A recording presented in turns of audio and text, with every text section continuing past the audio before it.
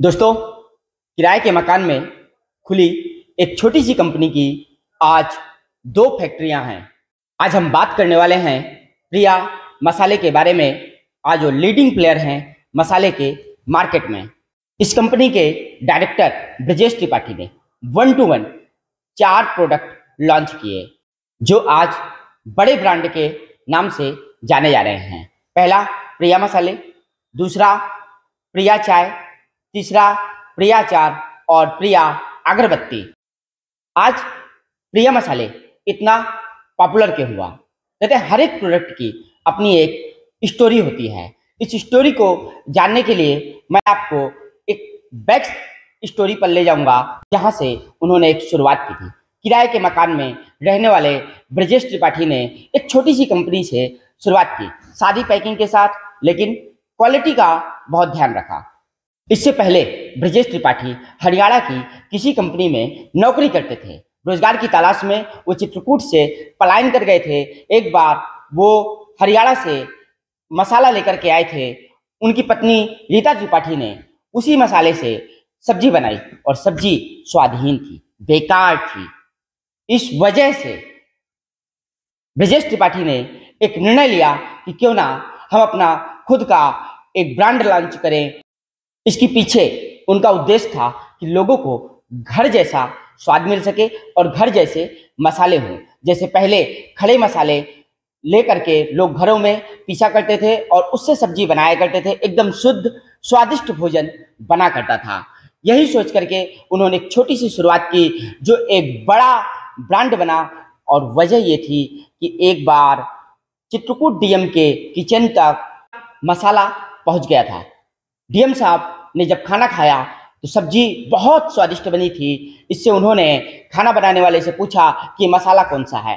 तो खाना बनाने वाले ने बताया कि ये तो चित्रकूट का मसाला है, यही बनता है और घरेलू कुटीर उद्योग का ये मसाला है। डीएम साहब के मन में जिज्ञासा जागी कि आखिरकार ये मसाला चित्रकूट में कहाँ बनता है। उन्होंने तब ग्रामोद्योग अधिकारी को फ़ोन लगाया और बात की। तब ग्रामोद्योग अधिकारी ने बताया कि चित्रकूट के कसाई रोड में एक फैमिली है जो बिज़नेस कर रही है और उस वक्त के तत्कालीन डीएम दलित गुप्ता ब्रजेश त्रिपाठी से मिलने पहुँचे और उनके वर्कर से मिले वहाँ क्वालिटी चेक की तो क्वालिटी में बेमिसाल पाया गया। तब डीएम दलित गुप्ता ने कहा था कि एक दिन ये भारत ही नहीं दुनिया का नंबर वन ब्रांड बनेगा। यहीं से ब्रजेश त्रिपाठी के कॉन्फिडेंस में बड़ा बदलाव आया और धीरे धीरे करके प्रिया मसाले मार्केट में छा गया, जिसको कहते हैं कि मसाले की मार्केट में लीडिंग प्लेयर बनकर उभर जाना और आज उनकी दो फैक्ट्रियाँ हैं। तो दोस्तों जितना पॉपुलर क्यों हुआ? ब्रजेश त्रिपाठी ने एक बात देखी कि इक्कीसवीं सदी में अभी सबसे ज़्यादा लोग कहाँ पाए जाते हैं। सीधी सी बात है, इस समय लोग सोशल मीडिया में डिजिटल मीडिया में ज़्यादा से ज़्यादा पाए जाते हैं। उन्होंने इसी कमज़ोर नस को पकड़ा और यहीं पर विज्ञापन देना शुरू किया। यहीं पर प्रिया मसाले का प्रचार करना शुरू किया। तो इसकी माउथ एडवर्टाइजिंग होने लगी। लोग आपस में बात करने लगे, मसाला अच्छा है, सब्ज़ी स्वादिष्ट बनती है और गुणवत्ता पूर्ण है। इससे प्रिया मसाले की मार्केट में डिमांड बढ़ गई। बढ़ती डिमांड को देखते हुए उन्होंने प्रिया अचार मार्केट में उतारा।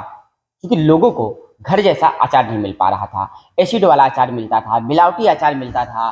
तो उन्होंने सोचा, अगर गुणवत्तापूर्ण अचार उतारा जाएगा तो निश्चित रूप से लोगों को पसंद आएगा और घर जैसा अचार खाने के लिए लोग प्रिया अचार को पसंद करने लगे।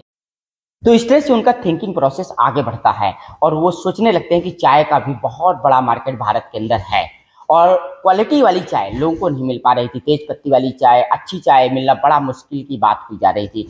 उन्होंने सोचा कि अगर हम क्वालिटी वाली गुणवत्ता का ध्यान रखेंगे कि अच्छी चाय मार्केट में उतारेंगे तो निश्चित रूप से लोगों को पसंद आएगी। और आज प्रिया चाय, सबकी अपनी पसंद की चाय बनी हुई है और घर, सुबह की शुरुआत लोग प्रिया चाय ही पी करके करने लगे। और एक बड़ी बात, भारत में कभी ना खत्म होने वाला धर्म। तो आगे उन्होंने सोचा कि भारत की ज़्यादातर जनता धार्मिक है, आध्यात्मिक है। सभी अगरबत्ती और धूप बत्ती का प्रयोग बहुत ज़्यादा करते हैं, लेकिन एक समस्या मार्केट में आकर खड़ी हो गई कि सस्ते दाम पर, अच्छे दाम पर लोगों को सुगंधित और अच्छी अगरबत्ती धूप बत्ती नहीं मिलने लगी। इससे उन्होंने सोचा कि क्यों ना अगर हम गुणवत्तापूर्ण, सुगंधित और अच्छी अगरबत्ती धूप बत्ती सस्ते और अच्छे दाम पर उतारेंगे तो लोगों को 100 परसेंट पसंद आएगी। अगरबत्ती मार्केट में उतारी।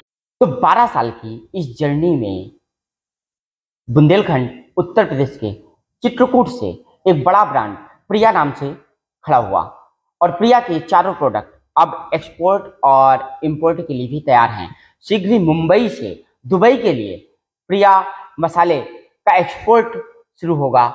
यानी कि उत्तर प्रदेश और भारत के मसाले का एक और ब्रांड जो विदेशों में धमाका करने जा रहा है, धमाल मचाने जा रहा है।